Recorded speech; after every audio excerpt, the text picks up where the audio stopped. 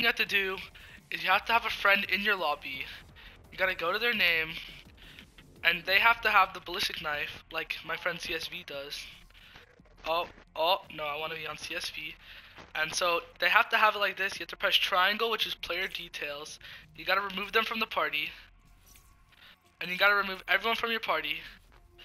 And now, once you're on yourself, you can see that your gun rack is right here. And you have to have the peacekeeper right here. Once you have that, you need to have 50 crates. Once you have 50 crates, go ahead and go to pick a weapon bribe. You go to the Stingray, and you go ahead and exchange it for 50 crates. And there you go, guys. As you can see, I went ahead and I got the Stingray 100% of the time. It works. Thank you guys so much for watching. Let's see what I get from these crates.